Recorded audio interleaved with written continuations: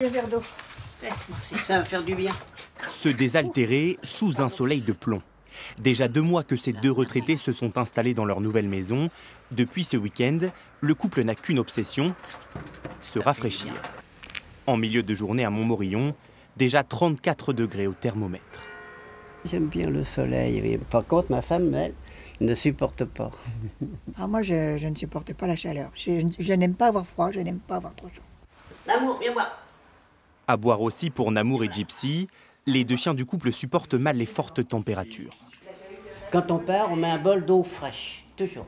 C'est un chien tibétain, c'est un chien qui vient du froid, il préfère l'hiver. Ah, l'hiver, il est heureux.